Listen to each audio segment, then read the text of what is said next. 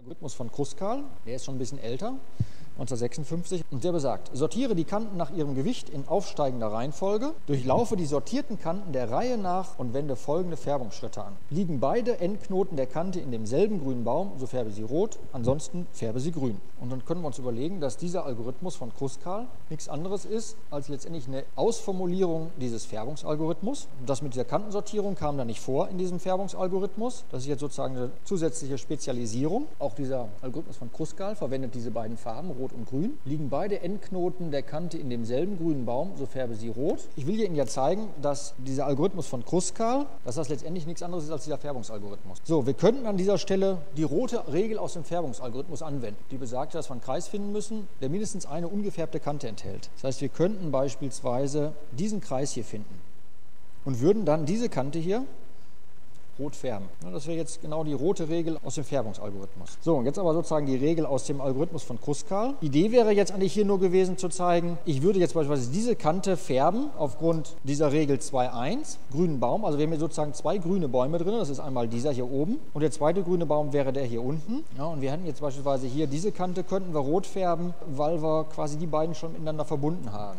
Und bei einer grünen Regel, beispielsweise zwischen diesen beiden Knoten, das wäre, dass ich nachweisen kann, dass diese Grünfärbung in dem Algorithmus von Kruskal genau der Anwendung der grünen Regel aus dem Färbungsalgorithmus entspricht. Also beispielsweise diese würde ich grün färben oder könnte ich grün färben, wenn wir jetzt mal diese Kantengewichte außer Acht lassen, weil ich das jetzt hier in dem Beispiel nicht berücksichtigt habe. Diese Kante würde ich grün färben, weil die beiden Endknoten halt in unterschiedlichen grünen Bäumen liegen. Und wenn das der Fall ist, gibt es da auch immer einen Schnitt. Ja, das wäre in diesem Beispiel genau der Schnitt. Ja, und wenn dann diese Kante hier ausgewählt wäre, wenn das die mit dem minimalen Gewicht wäre, dann müsste ich die halt aufgrund der Grünregel auch genau grün färben. Das heißt, zu diesen beiden Färbungsregeln in dem Algorithmus von Kruskal passen genau diese Färbungsregeln aus unserem Färbungsalgorithmus. Das ist letztendlich nichts anderes das eine ist die rote Regel, das andere ist die grüne Regel. Gucken wir uns einfach mal ein Beispiel mal an. Folge der sortierten Kanten.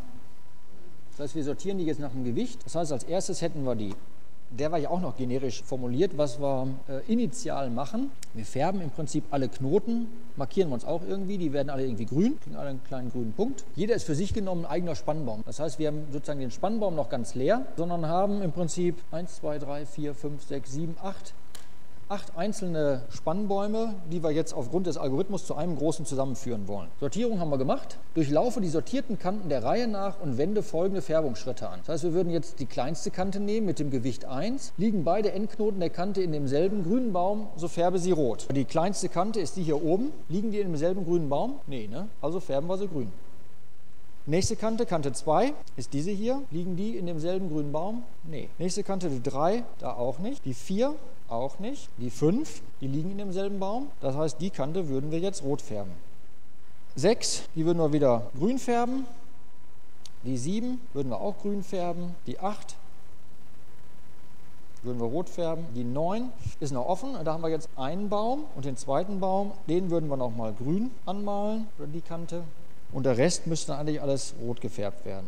Durch diesen Algorithmus von Kruskal haben wir jetzt auch einen minimalen Spannbaum ermittelt ist ja auch noch generisch, müssen wir uns auch noch irgendwie angucken. Irgendwie müssen wir überprüfen, ob zwei Knoten in einem Baum liegen oder nicht. Das ist das eine. Sortieren müssen wir, das können wir. Und wir müssen im Wesentlichen überprüfen, ob zwei Knoten zu einer Menge gehören oder zu einem Baum.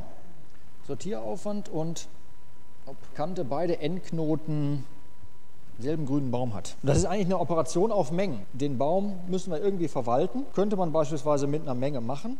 Implementation kann zum Beispiel mit einer sogenannten Union-Find-Struktur erfolgen. Union-Find sind letztendlich zwei Operationen auf Mengen. Union für die Vereinigung von Mengen. Wenn wir eine Kante grün färben, haben wir sozusagen aus zwei grünen Bäumen machen wir sozusagen einen, also irgendwie Vereinigung von Mengen. Wir müssen quasi zu einem Knoten die zugehörige Menge finden. Ja, und dann können wir die irgendwie vergleichen, ob die identisch sind. Und die Implementation einer solchen Struktur wird üblicherweise als das Union-Find-Problem bezeichnet dann sehe der Algorithmus ein bisschen verfeinert so aus. Wenn ich so eine Struktur habe, A ist das, was wir berechnen wollen, sortiere die Kanten nach aufsteigendem Gewicht. Wir machen aus jedem Knoten sozusagen einen grünen Baum. For each vertex ist halt so eine Operation Make Set, dass wir sagen, so, wir legen da jetzt eine Menge mit genau diesem einen Knoten an. Und dann gucken wir uns aufsteigend ausgewählt die Kanten an. Liegen die beiden in der gleichen Menge? Wenn ja, machen wir gar nichts. Und wenn nein, wenn die in unterschiedlichen Mengen sind, vergrößern wir quasi unseren minimalen Spannbaum. Ja, das heißt, die Menge A ist die Menge der Kanten, die den minimalen Spannbaum bilden bilden. Nehmen wir diese neue Kante auf. Das war genau unsere Färbung in grün. Das ist die Operation, die halt diese beiden Bäume, die da jetzt mit dieser Kante verbunden werden zu einem Baum, die Operation, die die halt zusammenwachsen lässt. Aufwand